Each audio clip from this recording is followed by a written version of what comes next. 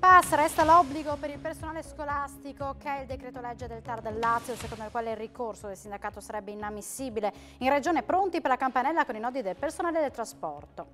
Tragedia nella serata di ieri a Pordenone dove durante un parto in casa una nonata è deceduta poco dopo essere venuta alla luce per un arresto cardiaco, inutile la rianimazione e la corsa in ospedale. Un operaio è rimasto folgorato da una scarica elettrica questa mattina mentre stava lavorando in un'azienda dismessa da una decina di anni a Mariano del Friuli è grave ma non sarebbe pericolo di vita.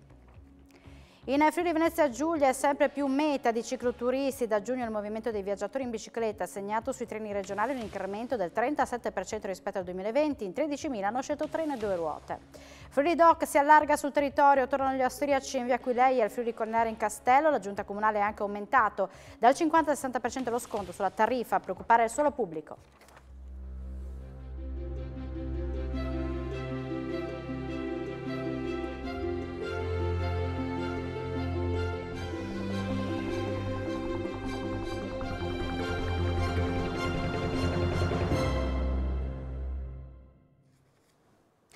Buonasera e ben ritrovati a un appuntamento con l'informazione di Telefriuli. Il TAR del Lazio ha dato un primo ok al decreto legge per l'obbligo del Green Pass del personale della scuola in vista della prima campanella prosegue l'organizzazione della ripresa dell'anno scolastico in Friuli Venezia Giulia dove il ritorno sui banchi è fissato per il 16 settembre. Una prima indicazione di palese inammissibilità e respingimento della sospensione cautelare urgente. Il TAR del Lazio non ha ancora messo una pietra tombale, ma poco via, sui ricorsi contro il decreto legge che impone il Green Pass per il personale scolastico e che prevede il licenziamento a decorrere dal quinto giorno di assenza. La discussione sarà ad ottobre e quindi si va avanti con l'obbligo. Un tassello in più in vista della prima campanella dell'anno che in FVG suonerà il 16 settembre e ovviamente fervono i preparativi con l'assessore regionale Alessia Rosolen che mantiene la consueta cautela. I conti, spiega, si fanno nel momento in cui si parte con l'anno scolastico e si verificano tutte le azioni messe in campo. Noi abbiamo fatto quanto in nostro potere, ci sono ancora dei nodi, ma dipendono dal governo nazionale. Sul fronte del trasporto pubblico, l'assessore Graziano Pinzimenti ha trovato i 40 mezzi aggiuntivi che servirebbero se restasse in vigore l'attuale norma che impone un'occupazione massima all'80% e giovedì è previsto un confronto con il ministro delle infrastrutture Enrico Giovannini per le risorse. Per i tamponi la regione vorrebbe arrivare a 1000 dovesse arrivare al giorno nelle scuole sentinella e anche lo Stato interverrà, seppur con numeri molto più bassi. Il tampone sarà comunque su base volontaria e solo se autorizzato dai genitori. Il nodo principale è poi quello del personale scolastico, qua la competenza è puramente ed esclusivamente dello Stato. Al momento mancano 1700 docenti, per i quali il governo potrebbe fare un contratto part-time per poi renderlo a tempo pieno grazie ai 3 milioni stanziati dalla giunta regionale. Un tema, aggiunge Rosolenne, è poi quello del personale Covid previsto fino al 31 dicembre e che andrebbe prorogato. In questo contesto non manca poi un ragionamento politico dell'assessore che in tempi pre-Covid portava avanti l'obiettivo di una regione con competenza anche sulla scuola. Oggi avremmo avuto una cabina di regia unitaria su tutte le azioni da mettere in campo, tenendo conto di tutte le situazioni. Abbiamo comunque lavorato bene con il personale dell'ufficio scolastico regionale, sempre molto attento e disponibile. Tragedia nella serata di ieri a Pordenone dove durante un parto in casa una neonata è deceduta dopo essere andata in arresto cardiaco. Vani, la rianimazione e la corsa in ospedale scelta spontanea di un parto in casa è diventata tragedia per una famiglia di origine straniera di Pordenone. I genitori avevano scelto di dare alla luce la propria bambina tra le mura domestiche, assistiti da un'ostetrica, ma qualcosa ieri sera attorno alle 19.30 è andato storto e dopo il parto la piccola è andata in arresto cardiaco. Subito sono stati allertati i soccorsi, mentre l'ostetrica ha continuato, fino all'arrivo dei sanitari, a praticare il massaggio cardiaco sul corpicino. La neonata è stata assistita da un'equipe dell'ambulanza e subito intubata, quindi la corsa disperata recuperata verso il reparto di pediatria dell'ospedale civile, ma nonostante tutti gli sforzi fatti dai medici, il cuore non ha più ripreso a battere. Ai sanitari non è rimasto che constatarne il decesso, comunicandolo agli affranti genitori. Potrebbe ora essere disposta un'autopsia per determinare le cause della morte della neonata. Quella del parto in casa è una pratica assolutamente legale, ma che viene scelta molto raramente. In Italia non ci sono dati precisi, ma si stimano circa 500 parti all'anno a domicilio, lo 0,1% dei circa 450.000 nati impiegati all'anno. I rischi però sono legati all'assenza di un'immediata assistenza medica in caso di complicazioni. Resta ricoverata in terapia intensiva all'ospedale di Padova la bambina di 13 mesi, rimasta ustionata dall'acqua bollente di una pentola. La prognosi che resta riservata potrebbe tuttavia essere sciolta nei prossimi giorni.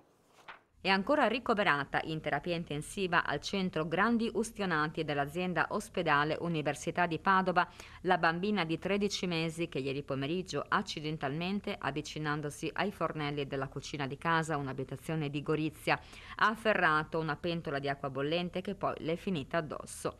La prognosi potrà essere sciolta tra qualche giorno, al momento è riservata. La piccola è in cura nel reparto diretto dal dottor Bruno Azena. La mamma aveva dato subito l'allarme e la piccola, dopo essere stata portata in ambulanza all'ospedale San Giovanni di Dio, è stata trasportata in volo d'urgenza a Padova per la cura di ustioni di primo e di secondo grado. La situazione, spiega il sindaco del capoluogo esontino Rodolfo Ziberna, è fortunatamente meno grave di quanto poteva apparire inizialmente. Ho parlato questa mattina con la mamma, dice il sindaco, che ha tutta la vicinanza della città. La piccola sarà svegliata probabilmente nella giornata di domani. Pare che il visino non sia rimasto ustionato e che siano rimasti coinvolti la parte superiore del tronco e una spalla. Siamo fiduciosi e ci stringiamo alla famiglia, conclude Ziberna. Ci siamo messi a sua completa disposizione per ogni tipo di necessità. Un uomo di 60 anni, titolare di una ditta, rimasto folgorato questa mattina mentre stava lavorando nello stabilimento della Italsvenska, dismesso da 10 anni a Mariano del Friuli. Ha toccato accidentalmente i cavi dell'alta tensione. L'equipe medica dell'elicottero sanitario lo ha stabilizzato. Cosciente, l'artigiano del posto è stato trasportato in volo al Catinara di Trieste, è grave ma non sarebbe in pericolo di vita. Notizia di pochi minuti fa, cade da una tavola da SAP nell'acqua bassa, pochi metri dalla riva a grado di fronte allo stabilimento della GIT, resta gravemente ferito, lo hanno soccorso Prime Bagnini e quindi la capitaneria di porto dell'isola del Sole, presente in quel momento per un pattugliamento a piedi del litorale, vittima dell'incidente. In acqua un uomo di 50 anni trasportato con l'elicottero sanitario all'ospedale Cattinara di Trieste. Ed ora andiamo a vedere i dati dei contagi da Covid-19 nella giornata di oggi su 7.851 tra tamponi molecolari e test rapidi antigenici sono stati rilevati 99 positività, tra cui 3 migranti e 2 operatori dell'azienda sanitaria di Trieste. Non si registrano decessi, rimangono 11 le persone ricoverate in terapia intensiva e scendono a 31 gli ospitalizzati in altri reparti. Le persone in isolamento sono 901. Arriveranno dal Veneto le dosi necessarie per raggiungere l'immunità di gregge contro l'influenza nella prossima stagione. Nei piani del Friuli Venezia Giulia si punta a immunizzare 470.000 soggetti a rischio.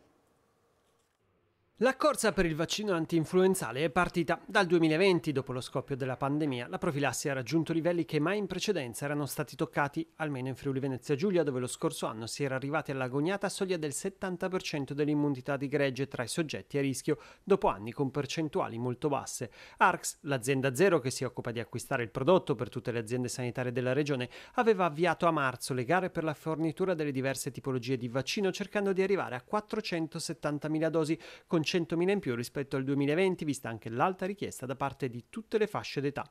Dei cinque lotti previsti è andato deserto il secondo che prevedeva la fornitura di circa 195.000 dosi di tetravalente, con il rischio di non avere materialmente vaccini per arrivare alla copertura dell'immunità di gregge. Grazie però a un accordo con la Regione Veneto, secondo un decreto del direttore generale Giuseppe Tonutti, arriveranno 180.000 dosi a 1,2 milioni di euro, consentendo quindi di raggiungere un quantitativo di poco inferiore a 400 170.000 dosi. I numeri sono comunque da confermare sulla base delle reali quantità di vaccini che arriveranno. Per quanto concerne gli altri lotti, il primo era relativo al vaccino anti-influenzale quadrivalente con 192.000 dosi assegnato Sequirus SRL con un'offerta da 2,88 milioni di euro. Assegnati sempre a Sequirus per 71.250 euro e Sanofi per 175.000 euro i lotti che riguardano il vaccino influenzale antigene di superficie in siringa preriempita per 9.500 dosi e vaccino antinfluenzale quadrivalente ad alto dosaggio per 7.000 dosi in siringa preriempita. L'ultimo lotto assegnato ad AstraZeneca per un importo di 288.000 euro riguarda 16.000 dosi del vaccino antinfluenzale tetravalente spray per i soggetti che non possono fare l'iniezione.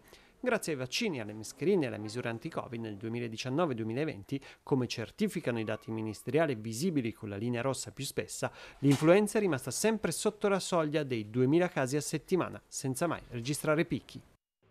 L'accordo il vaccino anti-influenza Scattano i controlli su tamponi e green pass in ingresso in Slovenia, code rallentamenti a Fernetti, il valico principale insieme a Rabuiese. La polizia d'oltreconfine ha denunciato tre persone. Code da questa mattina presto in uscita dal confine di Stato e in ingresso in Slovenia nel territorio di Trieste. La Polizia della Nuova Repubblica infatti ha dato avvio a una serie di controlli sui Green Pass per chi transita anche diretto in Croazia in attesa con disagi per rallentamenti sia mezzi pesanti che veicoli leggeri, di turisti ma anche di laboratori transfrontalieri. Il monitoraggio si è concentrato in particolare nell'area di Fernetti, Sesana. Controlli pure al valico di frontiera di Dragonia tra Slovenia e Croazia, dove gli agenti della polizia hanno scoperto due falsi negativi alla prova del Covid-19. Per due persone quindi è scattata la denuncia. Nel pomeriggio, sempre la polizia d'oltre confine ha denunciato una terza persona perché trovata con un certificato verde contraffatto.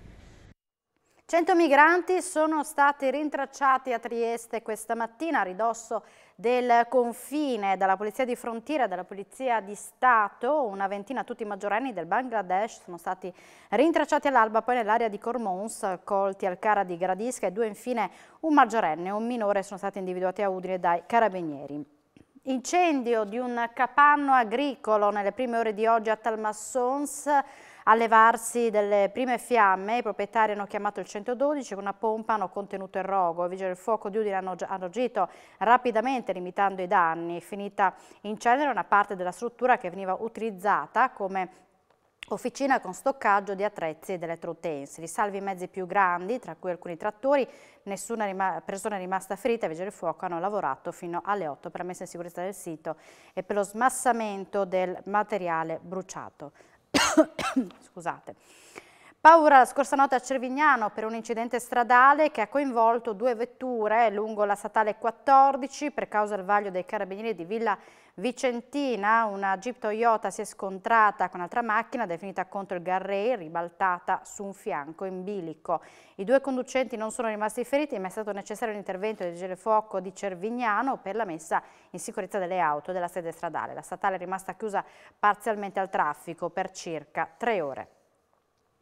Ed ora andiamo a Udine, continuano i lavori di sistemazione di Viale Venezia, oggi la giunta comunale ha approvato il progetto definitivo per il secondo lotto che riguarda tutti gli interventi di messa in sicurezza delle aree adiacenti alla rotatoria in prossimità di Viale Firenze e di Piazzale 26 luglio.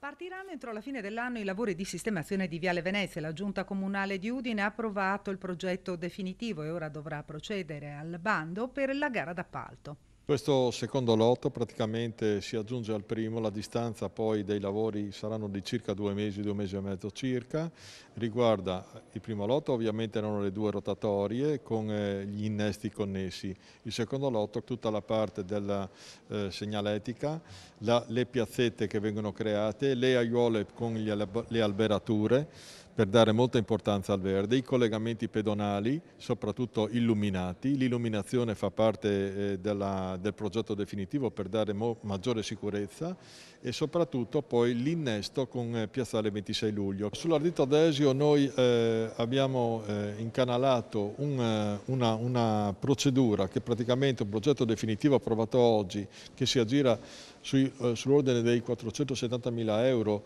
ma eh, riguarda non solo la copertura con materiale particolare, Inoltre ci sarà anche tutto l'impianto di illuminazione per far sì che quel parco attualmente che ha avuto un implemento di verde, non dimentichiamoci che l'avrà ancora, potrà ospitare anche eventi la Giunta ha anche fatto un ulteriore passo avanti per quanto riguarda il Bici Plan, il piano urbano della mobilità ciclistica. Dopo le varie valutazioni previste per legge, ora il Comune procederà allo sviluppo della rete ciclabile che consente di unire Udine ai paesi con termini. L'importante è che nella fase esecutiva non si incontrino intralci come quanto accaduto in via Cividale.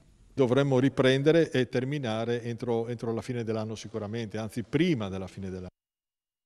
È praticamente ultimato il nuovo parcheggio a pagamento di via Sabbadini nell'area dell'ex frigorifero di Udine. Il cantiere sarà consegnato con circa sei mesi di ritardo sul cronoprogramma iniziale. Udine a breve avrà a disposizione il nuovo parcheggio posto a lato di Piazzale Cella in via Sabbadini. Si tratta dell'area di sosta SSM realizzata dal comune intorno all'ex frigorifero. Il park a raso sarà attivo esclusivamente nei giorni feriali, dalle 7.30 alle 21, e metterà a disposizione dei cittadini ben 106 stalli blu, oltre a due posti auto riservati ai disabili. L'inaugurazione presumibilmente avverrà a inizio settembre, dopo l'installazione delle colonnine per il pagamento della sosta. L'iter realizzativo del parcheggio si è rivelato più complesso del previsto. La bonifica e la realizzazione dell'intero piazzale hanno richiesto un esborso per le casse comunali di circa mezzo milione di euro. L'importo complessivo, a causa degli imprevisti, è passato così ai 380.000 euro iniziali ai 472.000 euro finali. Tra le opere eseguite anche la messa in sicurezza del perimetro dell'ex frigorifero. L'edificio infatti nei prossimi mesi dovrebbe finire al centro di una mega ristrutturazione da 10 milioni di euro che porterà l'immobile a entrare nel circuito espositivo dell'Attiguo Museo di Storia Naturale. Spostata solamente di un paio di metri, infine, la colonia felina, che notoriamente vive e frequenta l'area da decenni, per accogliere i micetti randagi è stata collocata una piccola casetta posizionata all'ombra di alcuni alberi.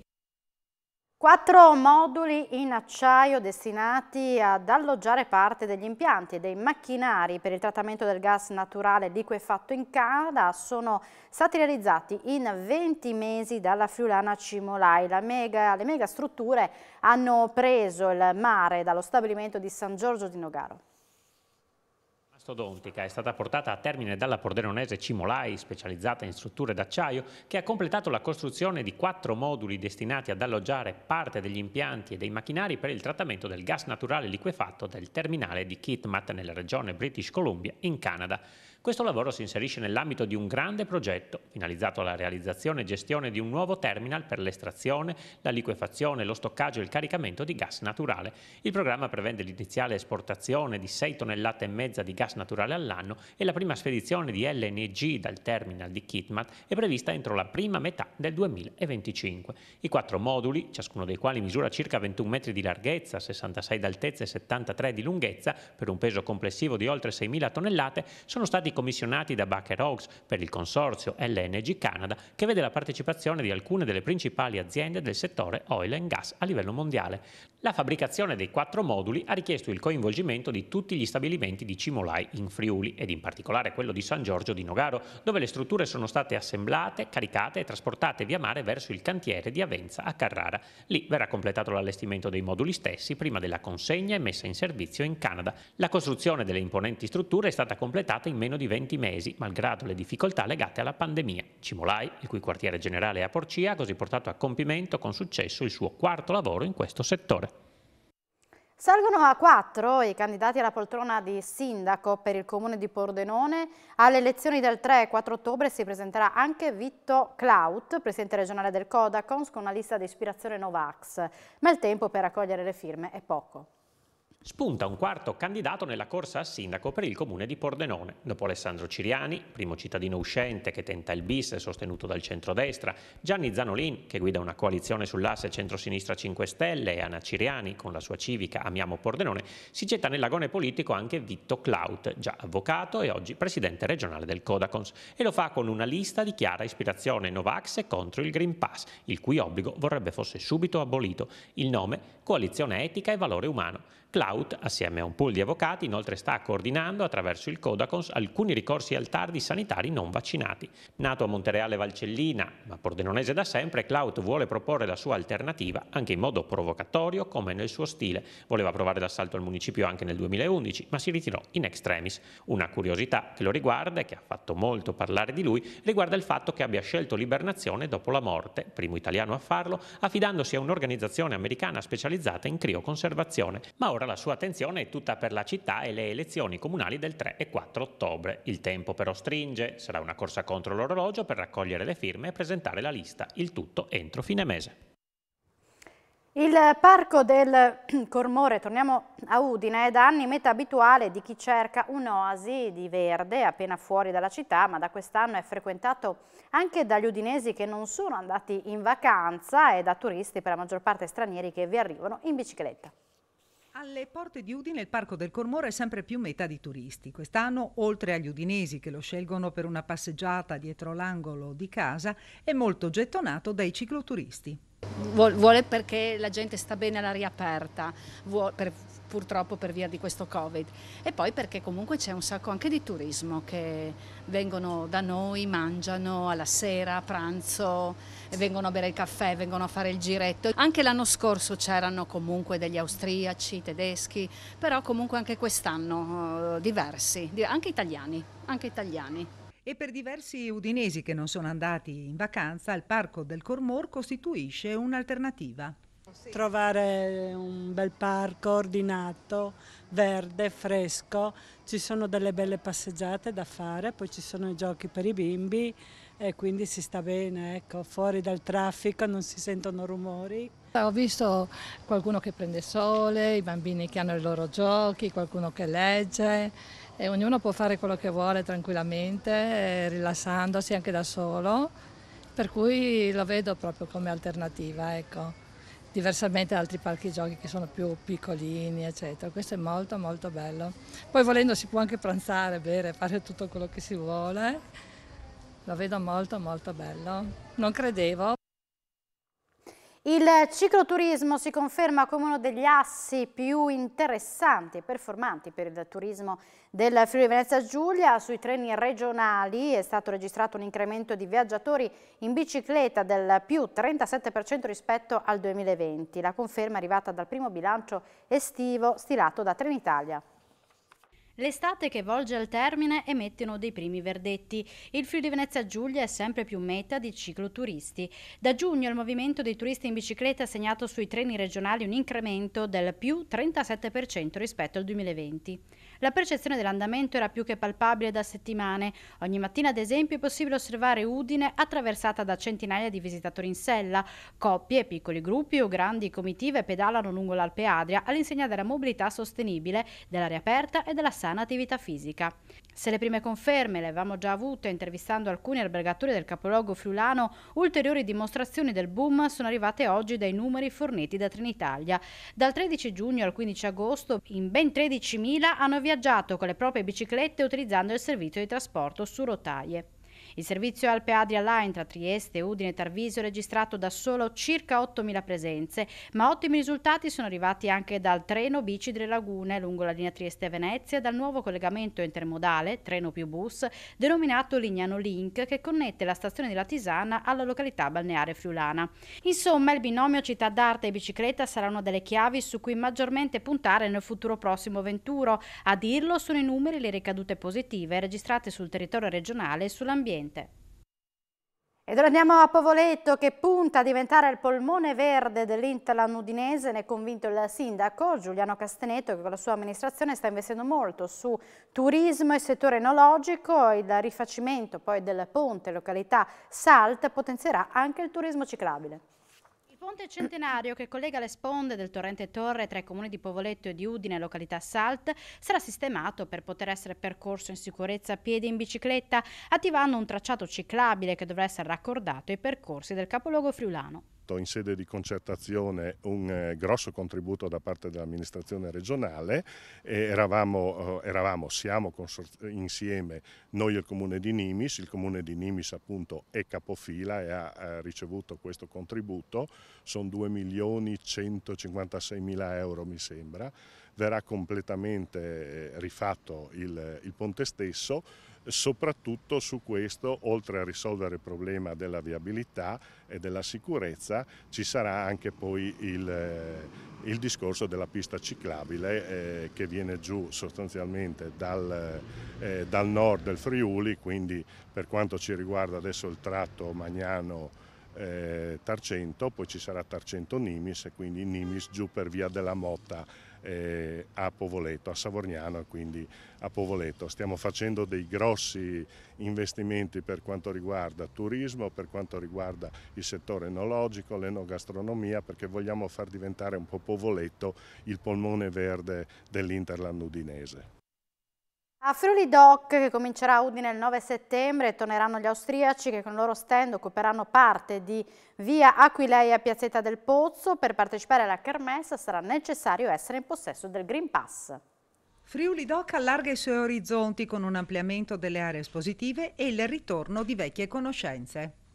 Fra le novità quest'anno sarà il ritorno degli amici della Stiria, degli austriaci che verranno collocati in fondo via Aquileia, poi ci sarà la conferma del ritorno di tutto il proloco del Collinare eh, in cima al castello di Udine e quindi anche questo è un altro motivo di vanto per questa manifestazione e abbiamo deciso come amministrazione accanto allo sconto iniziale che era già del 50% ricordo sulle tariffe per e, tutti coloro che parteciperanno a Friuli Doc di concedere un ulteriore 10% di sconto sulle tariffe e quindi accanto a tutte le altre iniziative collaterali che metteremo in piedi per questa manifestazione contiamo che quest'anno l'edizione possa avere un successo e soprattutto possa tornare ad essere un'autentica vetrina promozionale dell'eccellenza della nostra regione. Ricordo che rimane l'obbligo del Green Pass che è la misura più importante e per cui tutti coloro che vorranno visitare Friuli Dog dovranno avere il Green Pass e ci saranno dei controlli per garantire questo, quindi però starà anche alla responsabilità poi dei singoli di sapere che c'è questo obbligo, noi eh, faremo una campagna di diffusione dell'informazione anche affiggeremo cartelli dappertutto ricordando a tutti che c'è un obbligo individuale di dotarsi del Green Pass Ecco, e poi naturalmente cercheremo un dialogo col Comitato di Ordine Pubblico per valutare assieme quali siano le possibili misure per evitare ogni ipotesi di infrazione e per evitare gli assembramenti. Tra poco nello spazio dedicato allo sport si parlerà delle ultime in casa udinese a tre giorni dalla sfida con il Venezia di basket, con le parole di Alberto Martellossi in vista della nuova stagione dell'Apu e poi di Relli di un nuovo modo di vivere lo sport nelle colline carniche subito dopo la pubblicità Sport FVG. Grazie per l'attenzione, buona serata con Telefriuli.